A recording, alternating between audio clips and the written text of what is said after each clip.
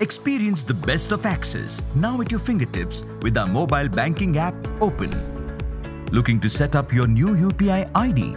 Now set up your new UPI ID in just a few taps using Open. To begin, follow these simple steps.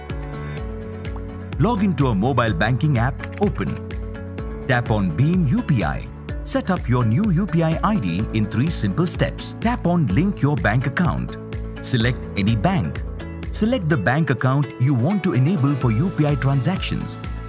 Create your UPI ID. Tap on Confirm to proceed. Enter debit card details for the linked account. Tap on Generate New PIN. Authenticate via OTP and create your UPI PIN. That's it. Your UPI ID is successfully created and is ready to use for transactions.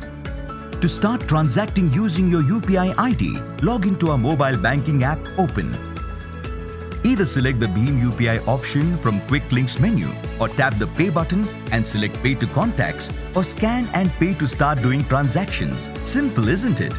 Enjoy many more such services on the Axis Bank mobile banking app Open.